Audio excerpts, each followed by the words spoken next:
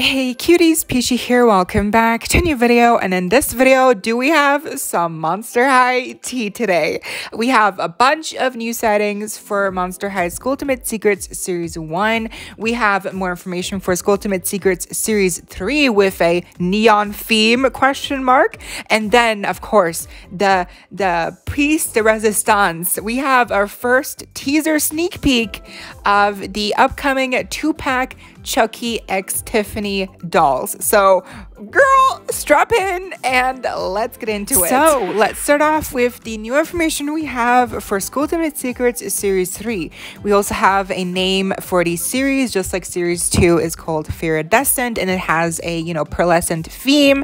This uh, Series 3 is called Neon Frights, uh, and the theme here is obviously neon. So, it says here, School Skulltimate Secrets returns with the Neon Frights edition and this time it's fluorescent. Okay, so kind of like a glow in the dark kind of situation. Um, the description reads Turn off the lights to discover three accessories that glow in the dark.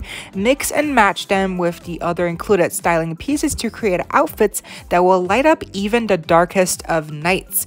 So that is the like generic um, description, I'm guessing. And so the big gimmick here is that there's going to be a couple of accessories with each doll that will be able to, you know, glow in the dark. That is um that is cute. Obviously, we've seen stuff like that done before, like with OMG uh, lights and um, Dance Dance Dance. That was UV light though, so not really like glow in the dark, but still like a very similar gimmick. And we have seen glow in the dark elements with Twyla, for instance. So uh, it seems that it's kind of perfect that she's also included with this series because that's her element that's her that's her whole thing glow in the dark so i'm really glad that they do have her in this series since the theming is perfect to her um so let's go over the individual descriptions we have. Uh, we have one for each except for Ghoulia, unfortunately, but um, Ghoulia is included, so that's very exciting. This will be her second only G3 doll, I believe. So, wow, uh, yeah, I know, crazy. I thought we would have gotten at least uh, another, a second one by now, but nope. So uh, at least she's making another doll appearance here. So the Draculaura description says, doll makes a statement with bold pink highlights and makeup. Comes with cozy hoodie and chocolatey snack to a laptop and face mask among surprises. So they don't reveal too much about her, um, you know, outfit, but uh, bold pink highlights. Okay, cute. I mean, she always has pink hair, so not really too surprising.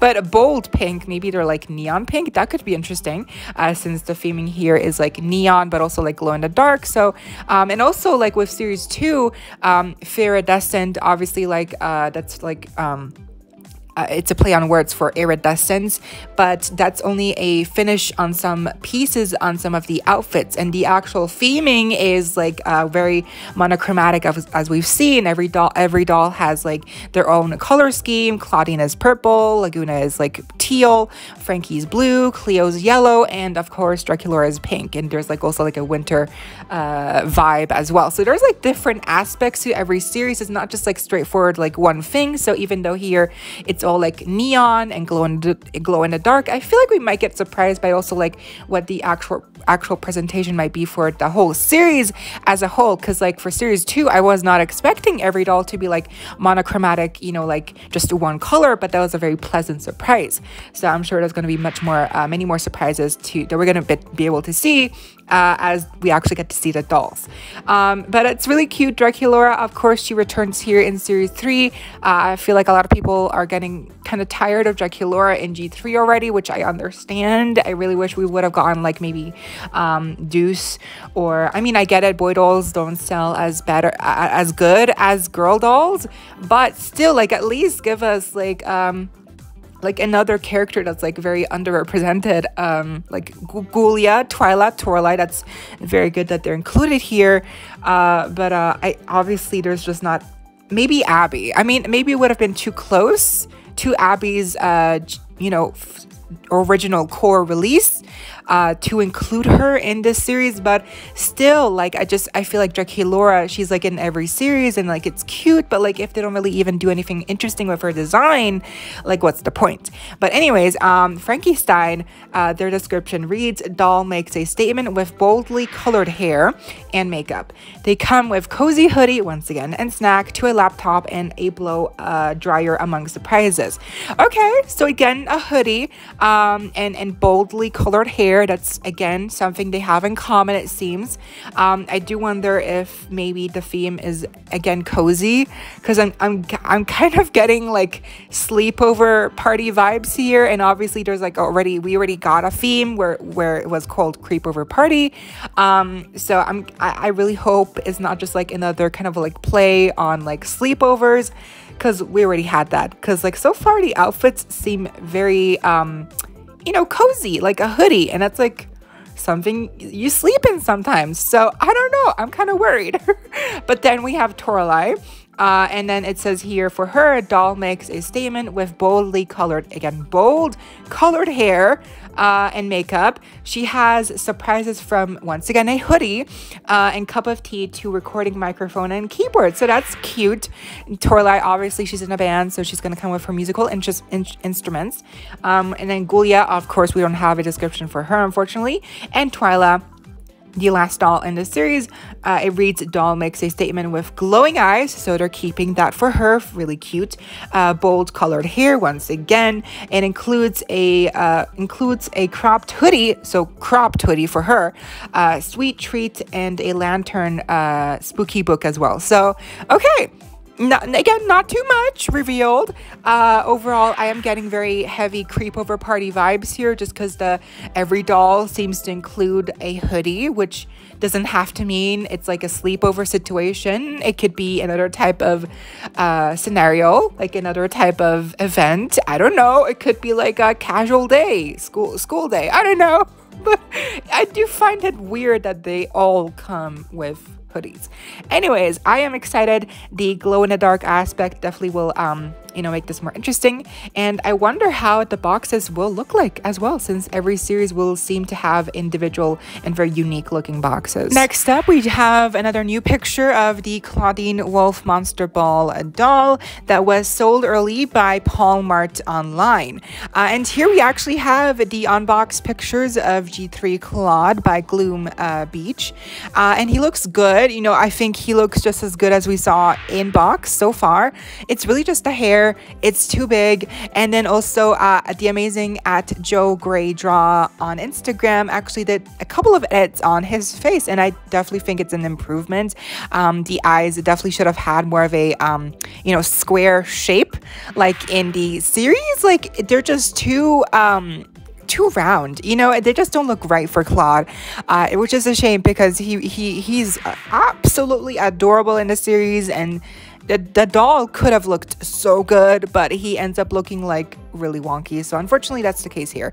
But um, hopefully, maybe some um, you know future variants for Clawd will maybe look better. And then of course, taming the hair will also help out a lot. I I'm pretty sure. Next up, we're gonna be looking at all the latest sightings of new Skulltimate Secrets Series One in the U.S. So uh, here you can see on screen all of these updates were uh, shared by at Monster High Retro. So thanks to them, and of course to all the people who actually shared uh, the updates to Monster High Retro, and then you know they shared it on their story, and now I am sharing it here with all of with all of y'all. So funny how that works out. But um, yeah, a lot of different states in the U.S. have been uh, starting to get them in store in Walmart. Uh, more I've, I've seen more walmarts have been stocking them than target so maybe maybe walmart is like it's an exclusive to Walmart, the Skulltimate Secrets Series 1 dolls. I don't think so, but like it just seems that they're getting more stocked in Walmarts. Um, and then also New Zealand uh, here, amazing. And also in Germany, they're appearing online on Smyths Toys, so that's really exciting. Now, before the Chucky X Tiffany 2 pack uh, for sneak peeks came out, we actually got a new music video that, yes, it's another creepover party music video. This is just, I mean, technically the third music video that we've gotten that's Creepover Party themed since we got one stop motion video that was for Twyla. We got the second one that was for Twyla, but that one was animated.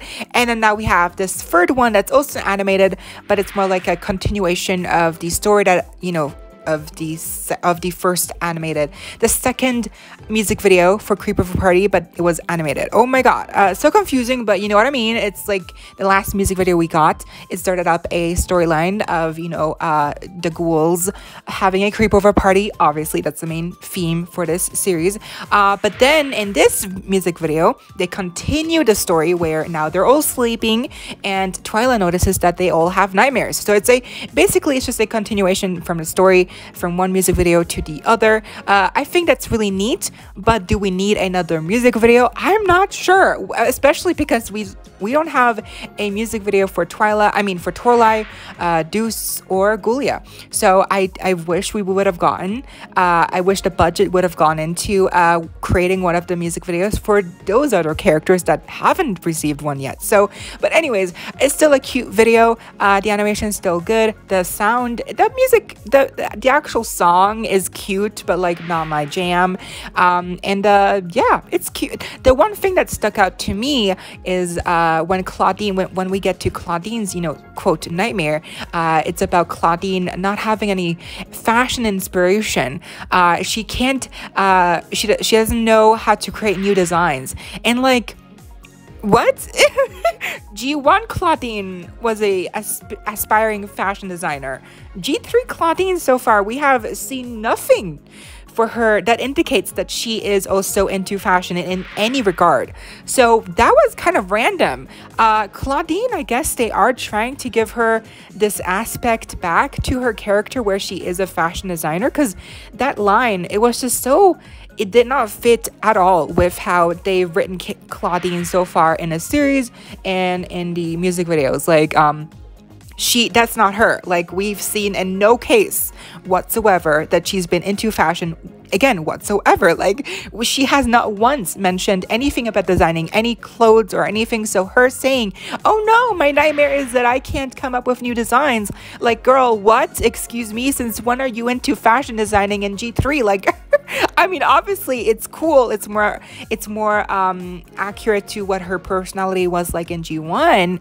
But again, like in G3 so far, we hadn't seen that side of her at all. So maybe they're going to build that up again and she's going to be like again a fashion designer. I mean, again, that's cool, but to me, this just seemed very random. And okay, fine. Now let's get into the sneak peek of the next Skulltimates uh Skullector dolls which are obviously the uh, upcoming two pack of Chucky X Tiffany.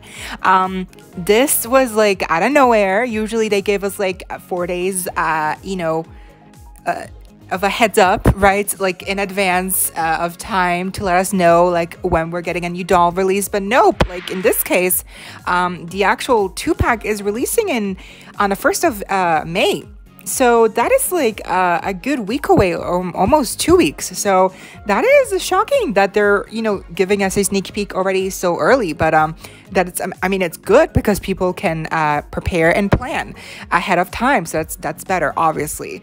Um, now the actual the other surprise was that you know people were not sure is this a two pack? Is this how is it going to be like um like how is it going to be execute it? Like are we are we gonna get like um tiffany as a human doll or as a you know in her tiffany doll version look. Like which version are we getting? Uh is is chucky gonna be like a like an accessory that that tiffany can hold? Or is chucky gonna be like an actual secondary character? And is this gonna be like a proper two-pack like just so many questions we had right? And it's and also like even when we we were gonna get a two-pack uh you know still like chucky we all thought it was just gonna be like a male doll and then tiffany was gonna be like just a girl doll. But nope they actually gender bent and Chucky, uh, which they have done in the past. They have, again, they have gender bent uh, Pennywise as well, right? Uh, that was the. Um, the first collector doll. So they've done it in the past, so it's not really that surprising. But I mean, people are living for it, and it's just it also makes sense in the context of the actual uh, canon and lore of the Chucky universe. Chucky, you know, the series, the movies, um, they play a lot. They play around a lot with the concept of you know genders and and you know just like the the non the, the binary of genders and like this and that like, and so it's really interesting that they, you know, it just fits in. It actually makes sense and fits in that Chucky would be a girl here in the doll, in the Monster High doll version. So it, it just makes sense. It's a really nice execution and it actually works between two brands of Monster High and in the Chucky uh, movies. It just makes sense, which is just, it just goes to show you that this collaboration is perfect. Um, so the actual teasers we got to see uh, seem to take place in another iconic scene, which is from the um, Bride of Ch- the the movie. I'm not sure what the title is anymore. It's been a while, but it's basically the um, movie where Tiffany gets introduced, the actual doll. Uh, the scene plays out. You know, the scene where Tiffany actually gets you know born into the doll. It's a whole story. Obviously, you gotta watch the movies, but basically, um, Tiffany is a person first. Uh, she's taking a bath in her trailer. She's watching some. She's like watching an old timey movie, which obviously they also get a little Easter egg on the um, TV here which has the Bride of Frankenstein Monster High Skullector doll. Because uh, in the actual movie, Tiffany, the uh, who's played by um, oh my god, what's her name? Uh, I, I believe Tip Valen. Oh my gosh, I don't remember her name, but uh, she's iconic. The actress who actually plays Tiffany, um, she, you know, in the actual scene, um, she is watching an old timey movie, and so they also reference that here, which is really cool. And so basically, she gets electrocuted. She dies in the bathtub, and then Chucky brings her back to life in the body of the doll. And then this is now the new Tiffany uh, that we get to see later on in the movies. Um, so it's, so complicated. I'm so sorry. but but uh, that's just why I love the background so much because it just, again, it's a really cute reference. Um, it's yeah i love the references here the easter eggs ah, i love it um, and then of course the other reference is the uh, close-up of the faces of tiffany and chucky um, are obviously an homage to the uh, iconic movie poster for uh, the uh, bride of chucky or I, yeah, I think that's the name of the movie. So that's also really cool. Um, and then we don't actually get a good look, obviously, at the dolls, but it does seem that they're going to be like maybe a smaller scale doll, like Twyla body wise, maybe like the, the younger body type that they used for the Grady twins. Um, I'm not sure what bodies they will be using. Uh, all we know is that Chucky, yes, has been gender bent, and there we we can see what their face molds look like in the close-ups, um, and we can also see what the backs of their outfits look like. You know, with the overalls for Chucky, the long hair for Chucky actually looks amazing. The the little freckles for him as well for for, for her in this you know in this iteration, obviously, and then we have Tiffany, um, the blonde hair, the dress. Uh, obviously, in the movies, she uh, she she was wearing like a torn up wedding dress. Um, so so it's interesting here that the actual dress she's wearing is no longer white. It's actually like um, it has a pattern of red heart splatters, which also makes sense because obviously in the Chucky movies there's a lot of killing, killing and gore. Uh, so the blood splatter hearts make sense. Um, and then the blonde hair, we don't get to see too much of her outfit otherwise. Um, and I do feel like we're missing a uh, black motor jacket. I wish they would have given that that to her, but maybe she comes with something else. I'm not sure. Um, but overall, I, I'm not really a fan of the print. I have to be honest. I really much rather her would have, again, we don't know if she does come with a jacket, but I, I don't see one here. So I really hope she does come with one. And, and if she doesn't come with one, I really hope she would have gotten one instead of like giving them giving her that print because it's uh you know it's just not like I don't feel like Tiffany would have liked that print. You know what I mean? It's just not very Tiffany. Uh, but I, am talking so much, but I'm I'm really, I'm a I'm a fan. I love the first sneak peeks here. I'm very excited. I just hope they're not too expensive because the previous uh, two packs have been 90 US dollars. So, uh, but I'm very excited. This is a very good uh, first impression. I am very excited for to see Tiffany and Chucky, gender bent Chucky. It just, it's perfect. Uh, and yeah, I'm so excited. I'm so happy. And that was the video. I hope y'all enjoyed. Uh, let me know what you think down below. Leave a like, share, comment, subscribe, hit the notification bell if you haven't already so you don't miss out when I post more content like this coming your way daily and keeping you up to date with all the adulty you love. Stay safe, be kind. I hope this next time. Stay peachy. Kisses.